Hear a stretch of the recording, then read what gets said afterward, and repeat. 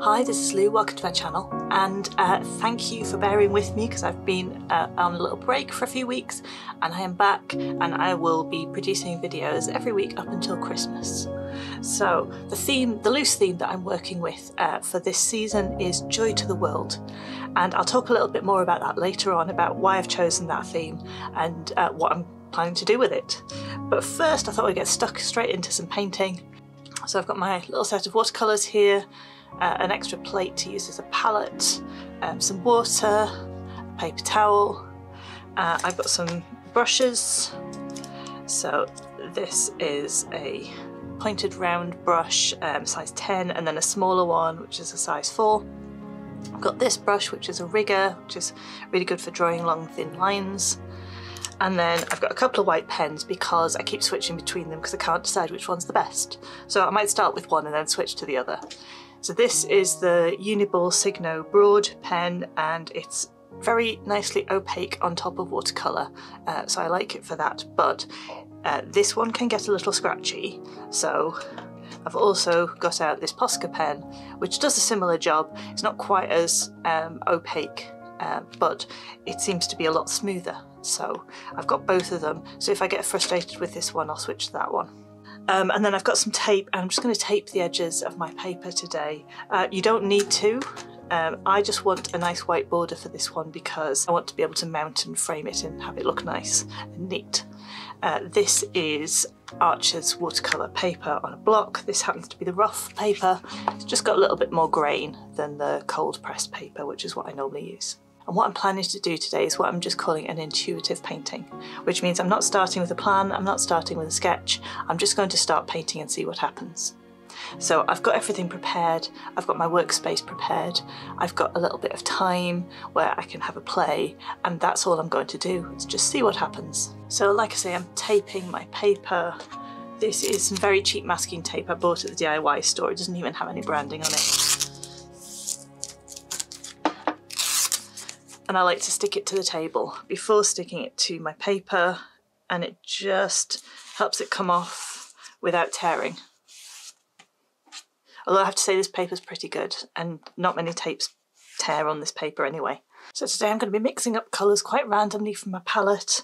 I'm starting by mixing them on this kind of dirty plate to start with, which is going to make my colours a little bit more interesting. And I'm starting with slightly paler colours because I want to I want to do some layering. That's the only thing I really kind of know that I want to do. I want to layer colours up so that I can start with something pale and then add um, a little bit more detail over the top in darker colours. So let's start here.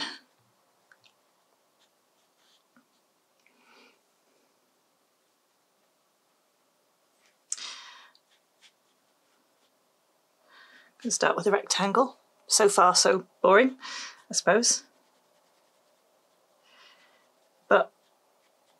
It's the simple shapes that you build up that will make the pattern interesting. So it doesn't matter if I'm starting with a really simple, boring shape. It'll get somewhere interesting and entertaining eventually.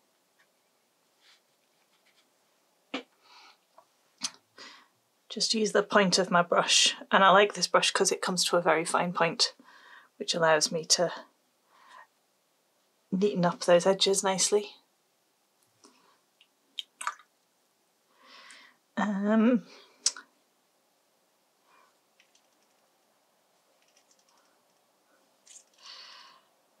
and then while that's still wet, I'll go in with another colour next to it. I can leave a bit of a gap to start with, just to give that a little bit time to dry. And then let's do like a, a half circle here. Just roughly draw it in, roughly fill it in, and then spend a little time refining it.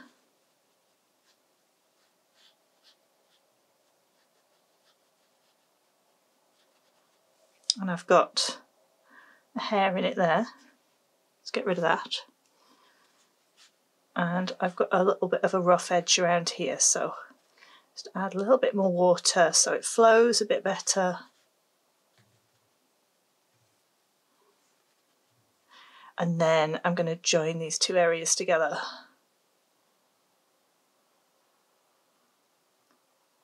And I should get a little bit of a soft bleed between the two areas because they're both still a bit wet. I don't know exactly what it's going to do, but as part of the process of finding out. I might add in just a little bit of a darker area around the edge. Just let it bleed into the rest, just for a bit of variation. Now what? Well, um, I could put in another half circle there, match them up. I could do like a, a one that goes around there. I could do another shape over here that doesn't touch it at all and then just wait and see what happens. I could do a circle in here. Let's do that.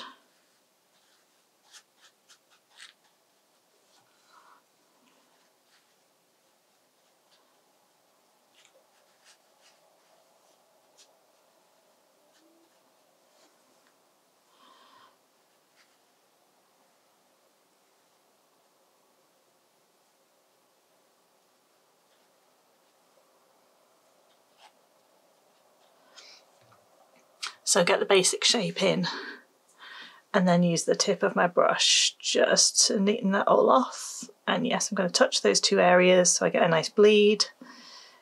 Again, just to make a bit of interest, see what it's going to do.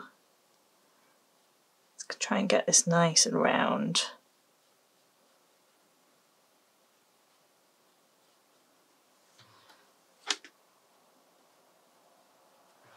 And then going to drop some of this slightly darker purple right in the centre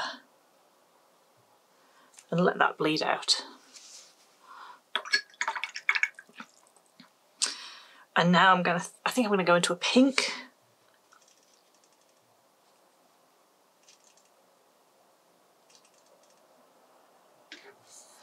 So let's do another rectangle in pink.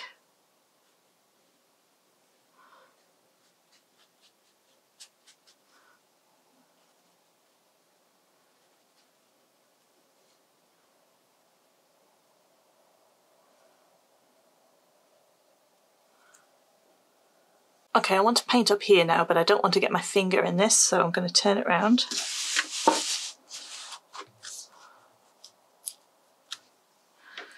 And let's go for more of a red. Um, if I paint this red next to this pink, um, I'll get a blend and this is still quite wet so I'm going to do that trick again of just painting a little bit further away from it.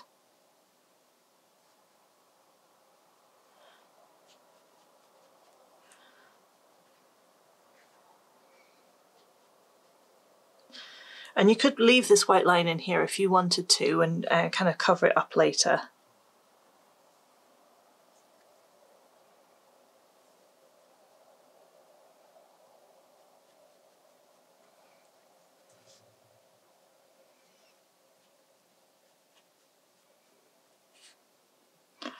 I'm just going to close the gap now so I get more of a kind of a gradual move between these different colours.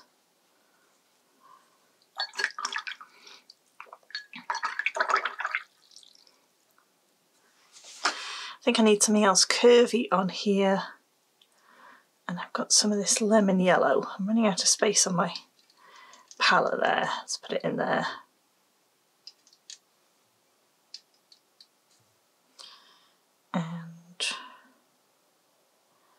Shall go up to here? Like a big arch shape.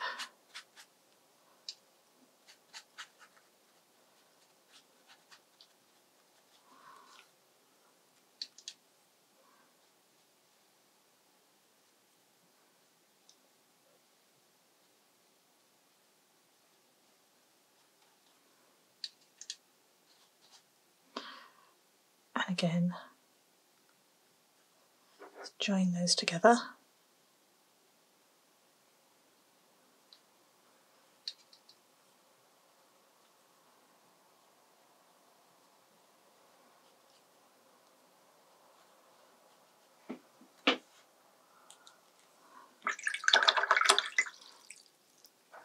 let's turn it again. Put in another circle here and maybe that should be a red as well.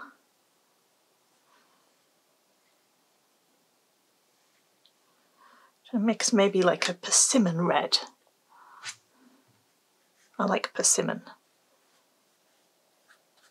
Both as the word and the colour. I don't know what the fruit actually tastes like. I should try some.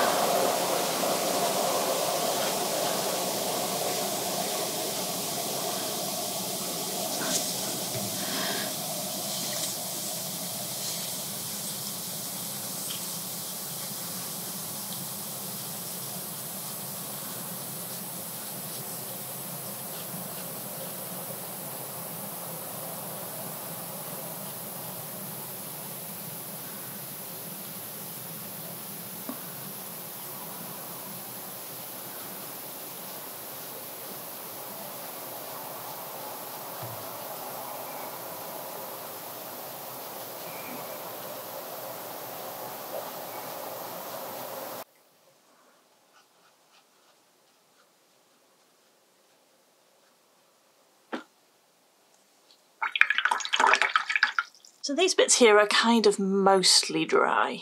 I think I'm safe.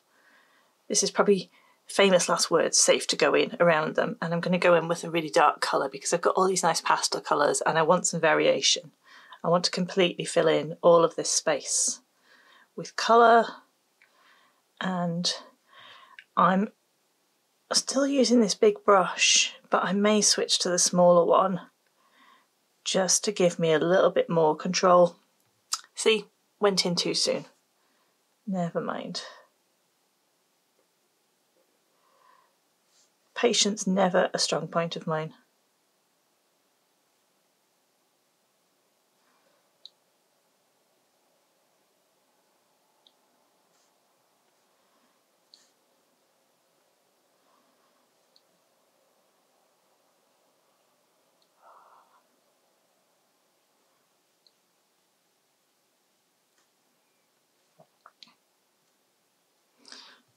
That's really quite nice. I'm liking that. Can I do this side? Maybe. What I think I might do is to do a stripe that kind of goes around here and then follows this curve around until it hits that one there. So let's turn this around and see if I can make the nice the, the edge of that stripe nice and neatly. It's not bad. Add a little bit more colour in there.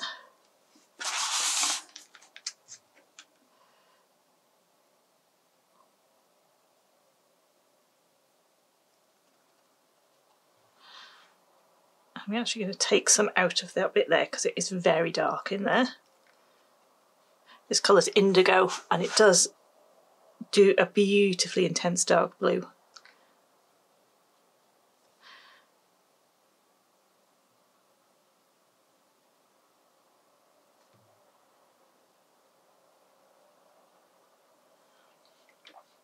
Tip of the brush in that bit. Oh.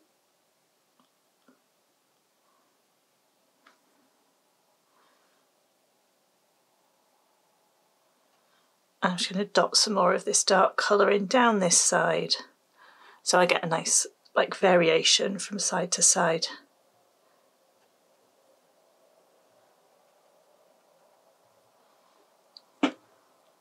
So it looks like there's a continuation of this colour from here into this stripe, stripe there. The next thing I want to do is kind of the same stripe here that goes around that way, similar kind of width, and actually I think I don't mind if it touches that wet bit there, so I think I can paint that now. Is that all dry? Eh, mostly, I think that's still a bit damp. We'll see, we'll give it a go. And I'm going to use a turquoise blue for this. Again, let's see if I can use the edge of my brush to paint a nice smooth curve that follows the curve of this yellow one around.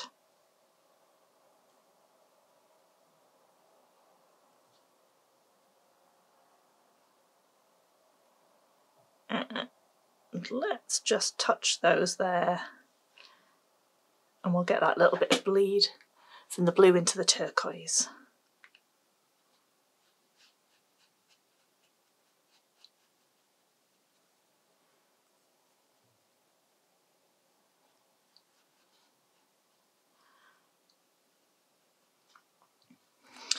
Now, I'm going to turn the paper around so that I can use the tip of my brush to get into this little point here.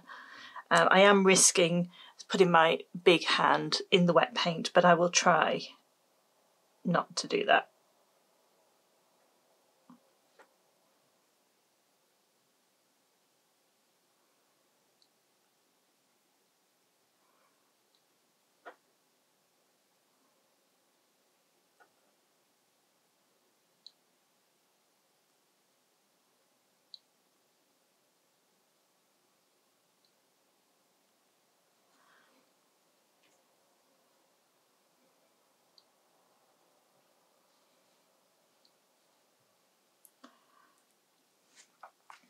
And then these bits here in the corners as well. Oops.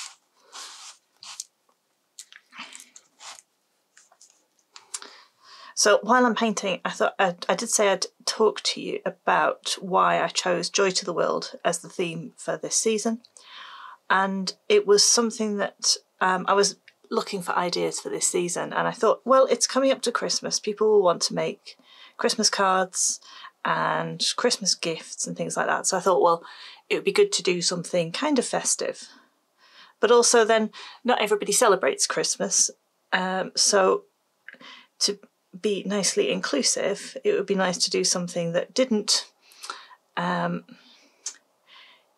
didn't require you to uh, be somebody who lives in a part of the world or has a kind of culture where Christmas is celebrated, and you could still do something joyful and celebratory and um, uh, yeah, and bring some colour into um, winter, which we're experiencing in the northern hemisphere. And I thought I'd like to do some more abstract work and some more patterns, and this seemed like a a good theme to be able to do that with. So my plan is that later in the year, kind of November into December, I will do some um, projects, some illustrations that uh, particularly reference Christmas. So, looking at some Christmas songs, some Christmas themes. But then for the rest of the weeks, I'd be doing things that are kind of more generic. So, things that are just have a joyful feeling about them. And if you are looking to make Christmas cards or if you're looking to make Christmas gifts or tags or something like that, do some big paintings that could be cut up into small parts. So you could take a portion of this and make it into a nice little uh, Christmas card focus, write a little message on it, something like that. Uh, and or you could do it as a kind of a big painting. So while I'm painting these last couple of little bits, I wanted to tell you about a couple of new things that I've got going on as well. So one is that I have um, I've had a Ko-fi account for about a year. That's not the new thing. Um, I set it up because lovely people on here were saying, "How can we support you?" and which which is really nice, and I'm really grateful for that support.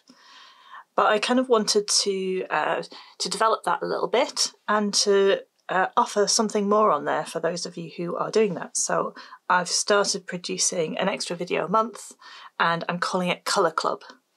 So Colour Club is uh, like uncut, really, videos, unedited videos for me, where I'm just playing around with pattern and colour.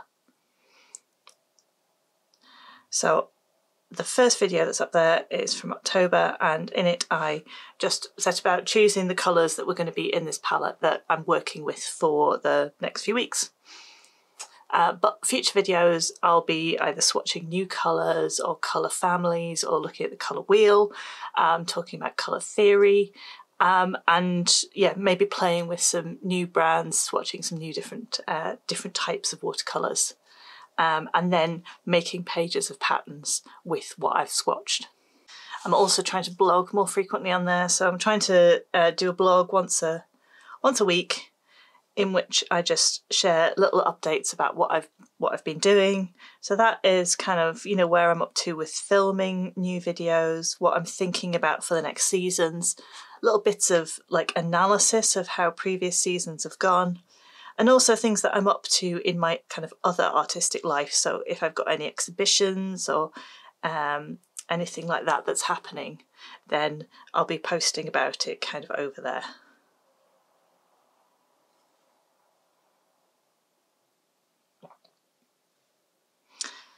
The second new thing to tell you about is that I kind of started a secret. It's not secret. I kind of a low key second YouTube channel. And uh, that one um, you'll find linked from my channel page, and a few of you have already found it. Uh, but I, I really wanted to kind of give it a little bit of time before I decided to announce it. And the reason that I've set up a second channel is because like anytime I do anything on this channel that isn't watercolour, uh, it doesn't perform very well and then it hurts the other videos that are performing quite well. That one I set up specifically as a fine liner drawing channel. So if you've liked any of my fine liner drawings uh, on this channel, and there are a few of them, then uh, that's the channel that you might want to go and subscribe to as well. So, so far I'm doing a video a month which is a kind of a how to draw a particular pattern in fine liner pen and then one which is more of a process video of me kind of doing something a little bit more in-depth and complicated, like a, a time-lapse video. I'm doing this as a little bit of an experiment, uh, just to see whether that satisfies my need for uh, for making other types of content. But also, it's really interesting doing a low key channel and just seeing if any of the tips and things that I've learned about making videos over the years have um, have helped in kind of in setting up and growing and establishing a channel. And I think they have. I think there's lots of things that I've learned that um, are really helping it um, grow. I mean, it's very small at the minute, but uh, but yeah, helping find viewers for those videos. So now I've kind of filled this page up with these different colours and I want to see what happens uh, when I just add more pattern on top of them. So I've I've got these areas here which I've done quite pastel and I want to layer them up with uh, a little bit more uh, smaller areas of pattern. So I might switch to my smaller brush for this section.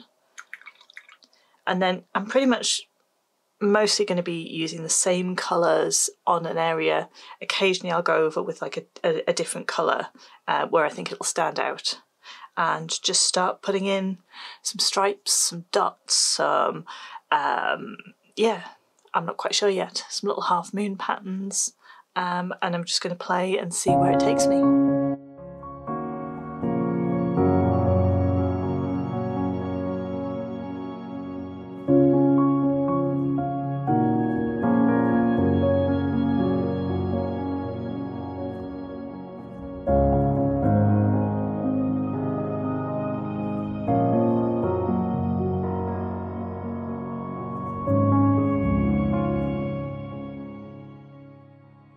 As I'm adding patterns into this painting, I'm really not thinking too hard about it.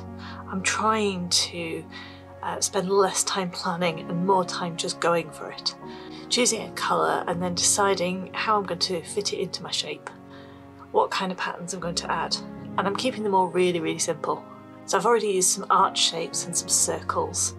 And I'm going to add to those with some more circles and arch shapes and stripes.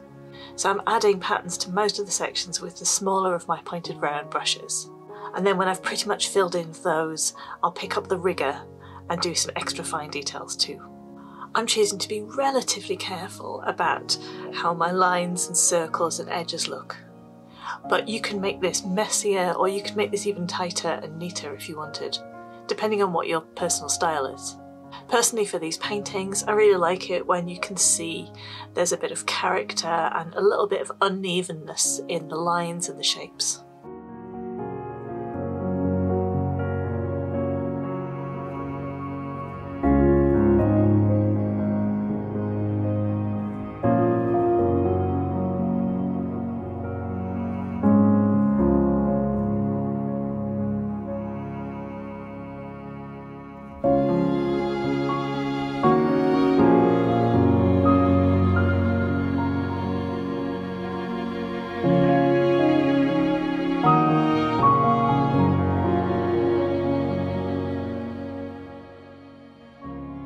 Could go on all day adding patterns and patterns.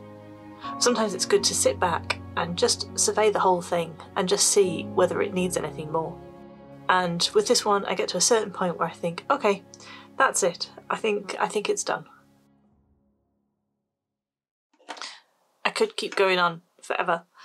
Now, I've got two things left to do. One is to decide which way round it goes. So I've turned this so many times, I'm not sure it has an up or a down. Let me know what you think. Do you think it works better one way or another? I think I quite like it that way round. Second thing to do is take the tape off and see whether anything's bled underneath. So let's see. One so far, that's good. Side number two is good. Side number three is good.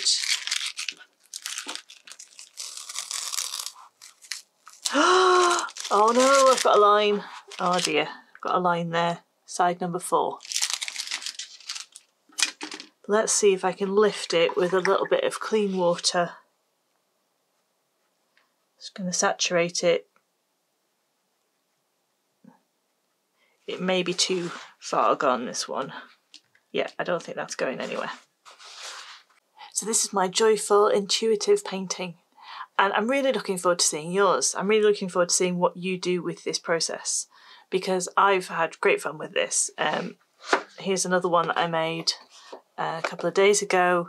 Uh, I've been doing quite a few paintings in this style and I've been really having fun with it. So I really hope that you give it a go um, and see what shapes and colours you want to put next to each other and then how you add patterns and come up with something completely different every time. So if you want to share your work with me, then you can post it to Instagram and tag me. Uh, my handle is Lou Rachel Davis, and I do love seeing what you've made. So thank you so much for sharing your work with me that you've done so far. And I look forward to seeing you in another video very soon. So there'll be links in the description box below to those two new things that I told you about. So the first is Colour Club on Ko-fi, to which I'm posting new videos every month. So it's available to anybody who supports me over there. So that's one-off or monthly donations. And the second is that new YouTube channel, which I kind of started a little bit under the radar a couple of months ago. And there'll be a link to that too. So if you've liked my fine liner drawings, uh, then there's more of that over there. So thanks very much for watching today. If you like the video, then please give it a thumbs up. And if you'd like to see more videos from me, then please do subscribe to the channel. And I look forward to seeing you again very, very soon. Thanks very much. Bye bye.